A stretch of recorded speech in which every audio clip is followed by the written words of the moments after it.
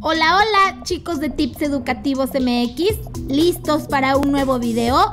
Muy bien, en esta ocasión te presentamos un tema muy interesante para los más pequeñines de la primaria, las figuras geométricas.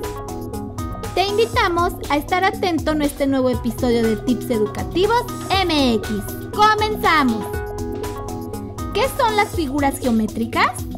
Las figuras geométricas son un conjunto de elementos o siluetas que están formadas por puntos, líneas, rectas, planos y superficies. ¿Te gustaría conocer algunas figuras geométricas?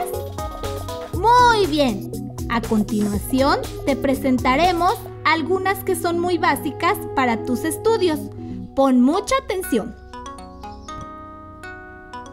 Triángulos.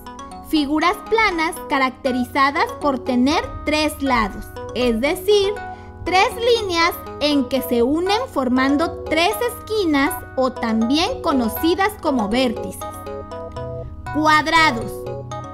Estas figuras planas son siempre idénticas en proporción, pero no en tamaño, teniendo cuatro lados iguales, es decir, de la misma medida. El círculo y la circunferencia. La circunferencia es el borde o contorno de un círculo. Por ejemplo, la tapa de una olla es como un círculo y un anillo es como una circunferencia. Rectángulo. Es una figura cerrada por cuatro líneas rectas. Tiene cuatro lados dos lados más largos iguales y dos lados más cortos que son iguales. ¿Te has dado cuenta que algunos objetos tienen forma de figuras geométricas? A continuación te ayudamos a encontrar algunos. Empecemos con un plato.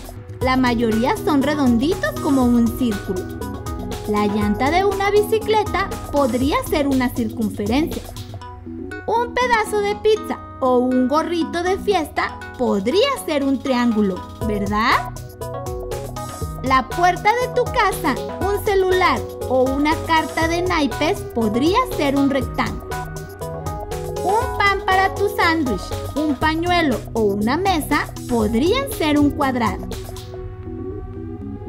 Así podríamos continuar buscando objetos de nuestro alrededor con formas de figuras geométricas. Así termina un capítulo más. Ahora ya conoces un poco más sobre algunas figuras geométricas básicas. Interesante, ¿verdad?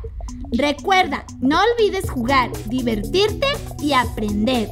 Suscríbete a Tips Educativos MX y síguenos en Facebook como arroba Tips Educativos MX. ¡Hasta pronto!